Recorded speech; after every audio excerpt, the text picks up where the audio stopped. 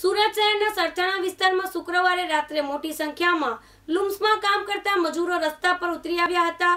આ લોકોએ પોલીસ પર પથ્થરમારો કર્યો એટલું જ નહીં, આ દરમિયાન આગ ચાપીના બનાવો પણ બન્યા હતા, જે બાદ પોલીસે કેટલાક લોકોની અટકાયત કરી હતી. સુરત શહેરમાં રોજીરોટી માટે અન્ય રાજ્યમાંથી આવતા હજારો મજૂરો છે. લોકડાઉનને કારણે આ તમામ લોકો બેરોજગાર બન્યા છે. એટલું જ નહીં, શુક્રવારે ચાર હજાર જેટલા લોકો રસ્તા પર નીકળ્યા હતા. તેમની માંગણી તેમને તેમના વતને જવાની પરવાનગી આપવામાં આવે તેવી હતી. લોકડાઉન ખુલતા સુરતમાં ધંધા ઉદ્યોગોની હાલત કફોડી બનશે.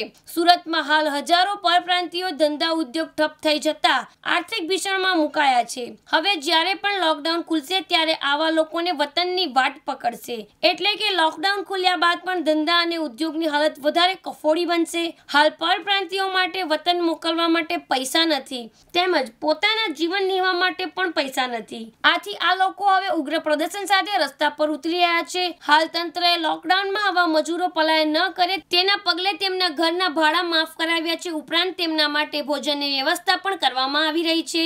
જો કે રોજગારી ન હોવાથી આ લોકો અકળાય છે. બીજી તરફ જો મજૂરો અહીં ફસાયા છે તો તેમના પરિવારના લોકો પણ ચિંતા કરી રહ્યા છે. આથી મજૂરોએ લોકડાઉન ખુલતાની સાથે જ વતન જવાની તૈયારી શરૂ કરી દીધી છે. એવી પણ ચિંતા વ્યક્ત કરવામાં આવી રહી છે કે જો આવા લોકો મોટા પ્રમાણમાં હિજરત કરશે, તો સુરતનો ડાયમંડ અને કાપડ ઉદ્યોગ મુશ્કેલીમાં મુકાઈ જશે. આથી આગામી દિવસોમાં ઉદ્યોગોની હાલત વધારે કફોડી બનવાની છે. બીજી તરફ એવી પણ આશંકા વ્યક્ત કરવામાં આવી છે કે આર્થિક સંડોવણને કારણે ગુનાહિક માનસિકતા ધરાવતા લોકોને ગુનાકીય પ્રવૃત્તિઓ તરફ વળી જશે. તો વધુ એક મુશ્કેલી ઊભી થશે. પરપ્રાંતિ મજૂરોને એવી પણ ચિંતા સતાવી રહી છે કે ધંધા રોજગાર શરૂ થવાની સાથે તેમને પૈસા નહીં મળે. આથી હાલ તો આ લોકડાઉન ખુલે તેની જ રાહ જોઈ રહ્યા છે.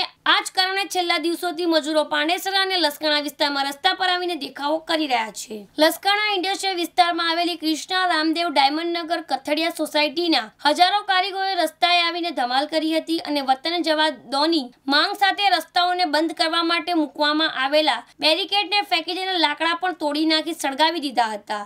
આ સાથે શાકભાજીની લારીઓ અને ઊંધી વાળીને તેને પણ નુકસાન કરવામાં આવ્યું છે. લસકાણા વિવર્સ વિજય માંગ્યુકિયા પાસેથી મળતી માહિતી અનુસાર સાંજે આઠ વાગ્યાથી આસપાસ લસકાણાની પ્રમુખ સોસાયટીઓ જેવી કે કૃષ્ણા રામદેવ ડાયમંડનગર કથડિયા જેવી સોસાયટીઓમાં રહેતા કારીગરો રસ્તા પર આવી ગયા હતા અને વતન જવાદોની માંગ કરીને રસ્તો બંધ કરવા માટે પોલીસે મૂકેલા બેરિકેડ અને લાકડાઓને ફેંકી દીધા હતા. આ ઉપરાંત પોલીસ ઘટના સ્થળે આવી જોઈને તેમના પર કેટલાક તોફાની તત્વો દ્વારા પથ્થરમારો કરીને રસ્તે પાર કરી ત્રણથી ચાર જેટલી પ્રાઇવેટ વ્હીકલને નુકસાન પણ પહોંચાડવામાં આવ્યું હતું अ, शाम को सात सौ सात के आसपास यहाँ जो लोग रहते हैं अ, वर्कर लोग रहते हैं उन्होंने ये रोड पे पत्थर और अ, जो रिक्शा होती है या लारी होता है वो रख के रोड को ब्लॉक किया था और प्राइमरी पुलिस आ गई थी पहले ही और थोड़ा पत्थर मारा उन्होंने पेल, स्टोन पेल्टिंग किया फिर पुलिस आ गई और सब कंट्रोल कर लिया है।